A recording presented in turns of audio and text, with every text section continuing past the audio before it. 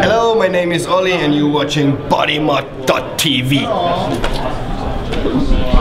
Okay, I'm at APTPI. This is day three, and behind me is Industrial Strength International. And JD here is from California, so we're going to do a quick interview with them and show you their product line.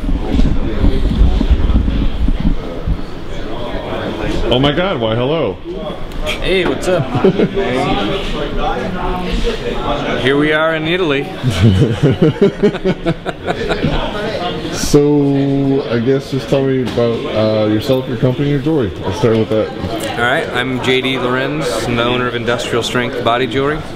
We've been making body jewelry in uh, California for uh, going on 19 years, and we're here doing our convention here in Italy, showing off our wares to our Italian brethren. Had a beer. Uh, this is Ava, Ava Lovelace.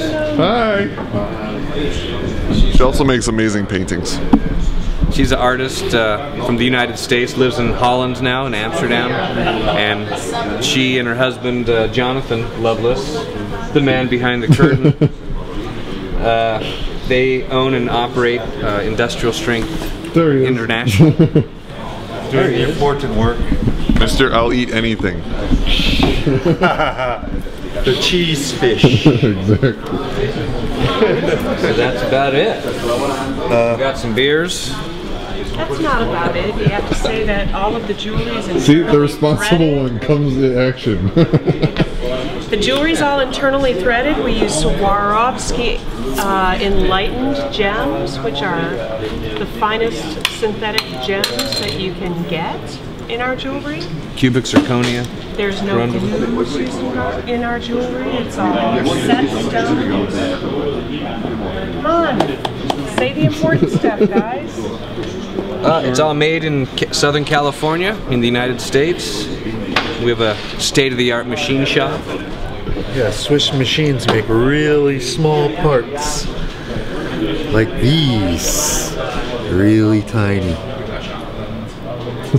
Our style of body jewelry is sort of uh, a mix between traditional body jewelry and we've sort of taken a turn into the sort of more traditional settings and prong settings. Uh, but, the, but it's all machined out of titanium. Where normally it would be cast in gold or, or you know, like normal jewelry is. We machine it from solid bar stock. So you make all your own jewelry? We make all of our own jewelry, yes. We, we don't import any of our jewelry from anywhere. It's all 100% made, manufactured in uh, Carlsbad, California. Four miles from the beach, baby. Great I think he did that on purpose. All of the Borneo Joe items are made by Borneo Joe. that aren't here.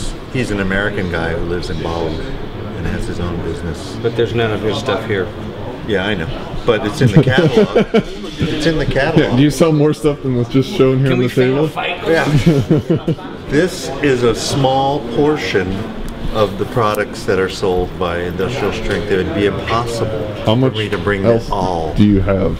Oh. How many different parts did she wrote us? If you look at all the different parts, lengths, gauges, it adds up to something like uh, 40,000 different individual items that we that we actually make. If you factor in stone colors, titanium colors, different sizes, diameters. then you're talking 187,000 different options possible. Jesus Christ. All made in the United States. Why did you start it? Uh, I was a body piercer back in the early, early 90s and did body piercing uh, like back in high school, back in the early 80s. 19, I pierced my nose in 1984 and I had all my ears pierced up through the early mid 80s because punk rock. In fact, that was one of the reasons I made the jewelry back then is because to buy one captive hoop from the Gauntlet wholesale was what, like 20 bucks.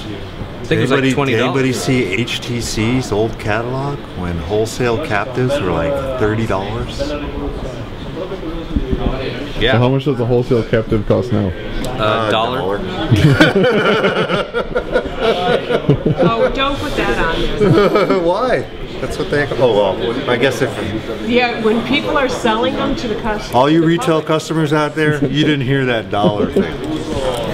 dollar, it's a dollar in material, and then you got to factor in the labor and the love and the infrastructure. So they're much more valuable than that. AKA the middleman. No, really, the shops who are selling you that same ring for twenty dollars, they really do a lot to get that ring to the case. How about this? How can you? What would you give for advice to people that are buying jewelry, like the end customer, in regards to finding quality jewelry? Because there's so much crappy, like Taiwanese, Chinese crap on the market. How can they tell the difference between good and bad jewelry? Well, one of the main reasons, one of the main things would be finding out from the shop owner uh, the, what the what the jewelry is actually made out of. And shops, most shops will have a material cert, cert that will tell you that the the material being used is medical implant grade versus just industrial type uh, type metals. Uh, the other things to look for um, is just workmanship. Generally, you would need a loupe. Where's the loupe? Let me grab a loupe. There's one right there. You know, use an use an eye loupe, uh, anywhere from three to ten power, basically a magnifying glass, and you can actually go and look. Look at the parts, make sure that the, all the surfaces are polished, all the corners and things uh, are polished. There's no scratches, no pitting. That's what sets industrial strength and other companies like it apart from other companies is the hand polishing. and it'll be very smooth like glass and that's very important so it doesn't harbor bacteria and uh, Speeds up the like healing that. process. all of our jewelry is pretty much made to order Yeah. it's not it's it is mass we do we do mass produce it but we don't uh, it's not just laying around when, when somebody c- places an order a lot of the times the jewelry will still have to have the stones set you know we set the stones by hand to order uh, uh, there's just a lot of things that go into it So do you sell directly to customers, or do you deal strictly wholesale? Do We're do both? only wholesale. Only wholesale. Only wholesale. Where can people go to find, like, who's selling your stuff so that they can go and get it? There's a list of your retailers on your website. Um, uh, Sure. There's uh, Body Art Forms, uh, Steel Navel, Industrial Strength International sells at retail in Europe. Okay. You can also call Industrial Strength at their 1-800 number and they will give you a list of the shops in your area that you can go to and that sell their jewelry. BME E Shop sells, uh, and ExoticBody.com sells it, and that's it. We don't sell to very many uh, uh, retailers, online retailers.